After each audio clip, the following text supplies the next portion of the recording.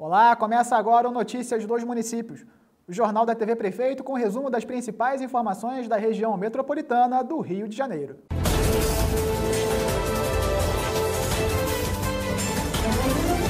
A Prefeitura do Rio inaugurou a 14ª cozinha comunitária do programa Prato Feito Carioca, no Catumbi, zona norte da cidade, nesta última quinta-feira, dia 4 de agosto.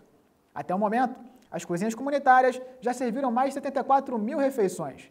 Cada unidade do programa está sendo implantada em áreas onde organizações sociais atuam, possibilitando a sua instalação mais rápida nos locais com grande vulnerabilidade social. Essa nova unidade inaugurada na Zona Norte foi feita em parceria com a organização social Cozinha Comunitária Carioca do Catumbi.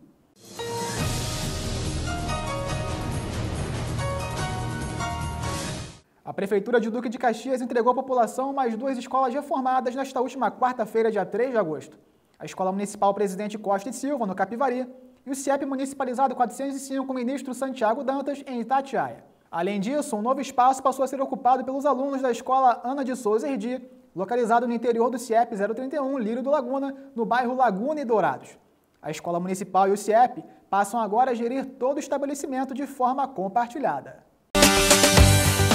Meu Fofão, em Saracuruna e Jardim Primavera, tudo para o seu lar. Brinquedos, papelaria em geral, cadernos, agendas, mochilas, potes domésticos, caixas organizadoras, presentes e atendimento de qualidade. Meu Fofão, a loja mais querida do bairro há mais de 35 anos. Avenida Presidente Roosevelt, lote 12, quadra 4, em Saracuruna.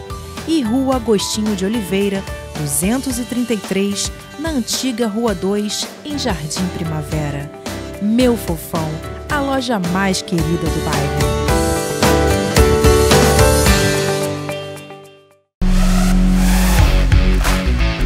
Eletrônica embarcada, ABS, airbag, scanner automotivo e diagnóstico computadorizado é na oficina do Didi. Estrada Santa Cruz, número 44, quadra T, Saracuruna. E agora, na Presidente Roosevelt, número 23, alinhamento, suspensão, troca de pneus, correia dentada e revisão da injeção é com Didi Vitor.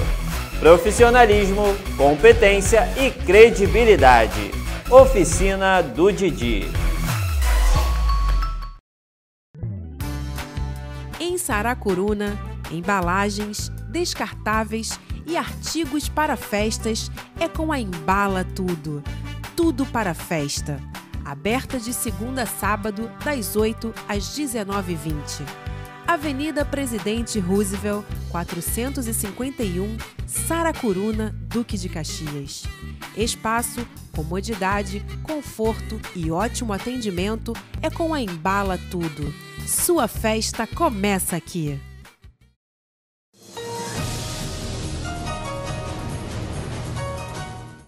A vacinação antirrábica está intensificada no município de Belfor Roxo.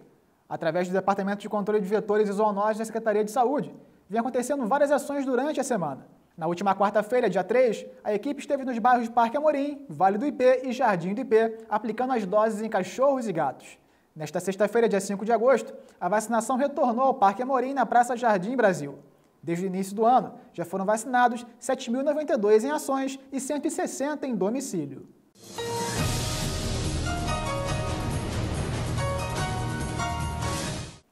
A Prefeitura de São João de Meriti realizou o chá dançante dos idosos cadastrados no CRAS do Éden. O objetivo é valorizar esse público, promovendo atividades inclusivas e diversão. A Prefeitura reforça que o governo trabalha pelo bem-estar e inclusão da pessoa idosa, que essas atividades são de suma importância para esse grupo, pois o governo busca trabalhar com eles valores como alegria e companheirismo.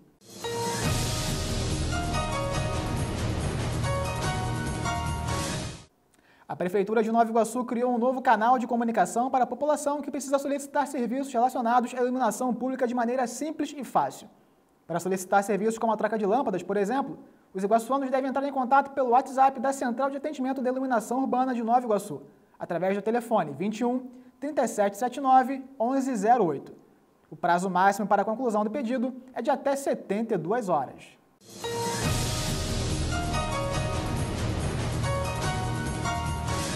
A Prefeitura de Niterói avança nos investimentos para ampliar o sistema cicloviário da região oceânica. O prefeito Axel Grael assinou na última terça-feira, dia 2, a ordem de início das obras de construção de novas ciclovias do lote 2 da malha cicloviária da região oceânica. Serão implementadas novas ciclovias nos bairros de Camboinhas, Itaipu, Itacoatiara, Serra Grande, Santo Antônio e Piratininga.